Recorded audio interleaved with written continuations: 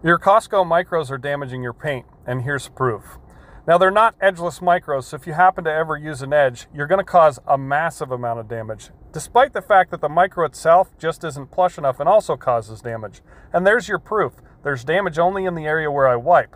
Whereas the micros that we use are autofiber, edgeless microfiber towels, so I can do that same test and you're not going to come up with any damage from that microfiber towel. It's a 550 GSM towel that's super plush.